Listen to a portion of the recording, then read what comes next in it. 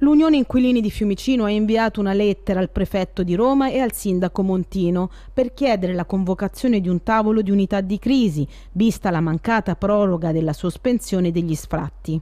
Nel comune, si legge nella nota, abbiamo una lista inevasa di richieste di assegnazione di alloggi popolari a canone sociale di circa 580 famiglie, un dato sottostimato essendo numerose le persone che neanche fanno la domanda.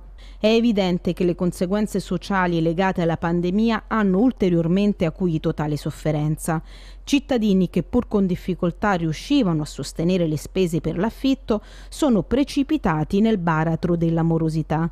Le richieste di contributo straordinario sono più che triplicate rispetto ai bandi ordinari e abbiamo assistito a ritardi clamorosi nella loro effettiva erogazione. Inoltre, prosegue Unione Inquilini, nella provincia di Roma solo nel 2019 ci sono state 2.124 nuove sentenze di sfratto, di queste 1.027 per morosità e 35 per finita locazione. Attualmente l'esecuzione degli sgomberi è sospesa fino al 31 dicembre, ma le informazioni che vengono dal Tribunale descrivono una situazione agghiacciante di centinaia di sentenze emesse ogni settimana.